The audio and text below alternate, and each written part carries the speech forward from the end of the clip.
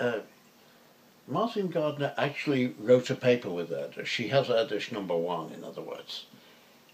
As with anything of uh, Erdős's, it's really rather deep and profound. Uh, it was, uh, it's published in a rather unlikely place, the Kurdish Journal of Mathematics. In fact, um, you might say that Gardner has a Kurdish number of one too. Um, it's well worth looking up. Uh, it's a fantastic paper. I've forgotten the name of the journal, but um, you can probably find it on the web.